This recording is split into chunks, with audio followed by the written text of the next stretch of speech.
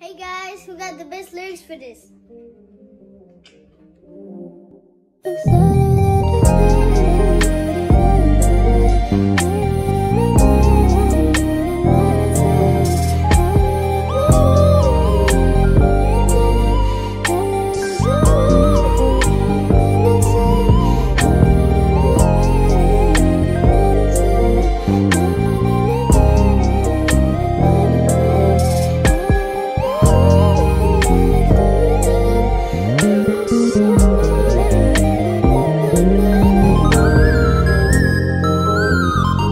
Música